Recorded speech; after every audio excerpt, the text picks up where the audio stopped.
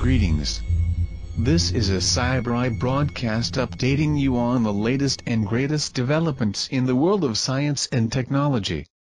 An ambitious effort for an interstellar travel planning organization officially kicked off this week, after DARPA awarded $500,000 to form the 100-year Starship Initiative. Former astronaut Mae Jemison, whose proposal was selected earlier this year, will lead the new independent organization.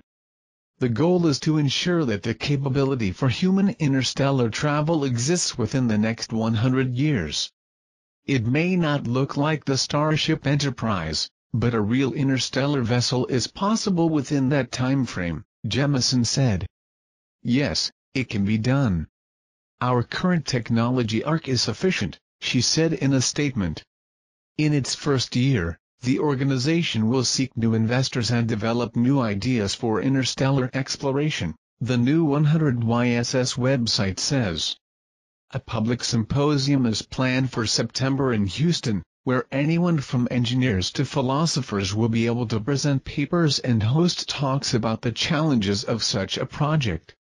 The 100-year Starship is not necessarily a ship per se, but an organization that can last 100 years and potentially carry out the vision of a real starship.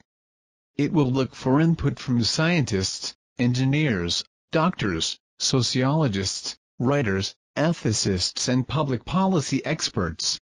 The 100-year Starship project also has a new scientific research partner called The Way, a cleverly named spin-off that will focus on speculative, long-term science and technology according to the project. Update complete. Please take this time to like the video, or favorite if you really enjoyed it. Also subscribe, if you had not done so already, or visit the channel to see any of the previous videos. All of this helps the community grow, and inform more people. Thank you.